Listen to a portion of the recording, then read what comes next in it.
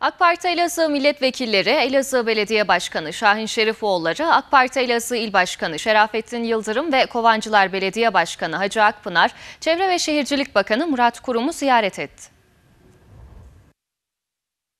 Çevre ve Şehircilik Bakanı Murat Kurum'u, AK Parti Elazığ milletvekilleri, Elazığ Belediye Başkanı Şahin Şerifoğulları, AK Parti Elazığ İl Başkanı Şerafettin Yıldırım ve Kovancılar Belediye Başkanı Hacı Akpınar ziyaret ederek bir dizi temaslarda bulundu.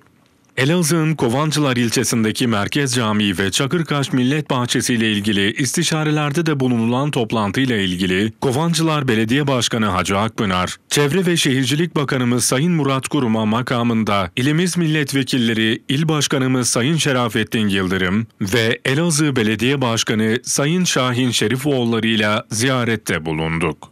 Kovancılar Merkez Camimiz ve Çakırkaş Millet Bahçemizle ilgili görüşmeler gerçekleştirdik ifadelerinde bulundu.